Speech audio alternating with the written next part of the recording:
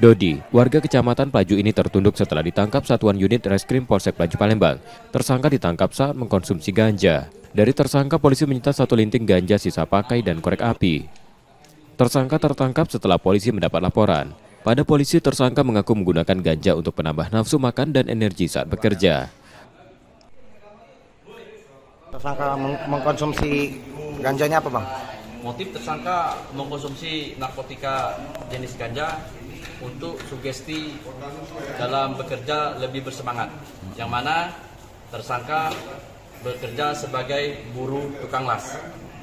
Sudah berapa lama dia mengkonsumsi bang? Tersangka mengkonsumsi ganja lebih kurang sudah satu tahun. Bang dia beli atau dikasih temannya? Untuk ganja yang terakhir kita amankan itu diberi oleh temannya.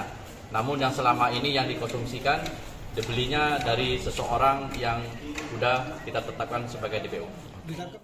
Untuk proses hukumnya, tersangka masih ditahan di Polsek Pelaju Palembang. Yudi Kiswanto, Kompas TV, Palembang, Sumatera Selatan.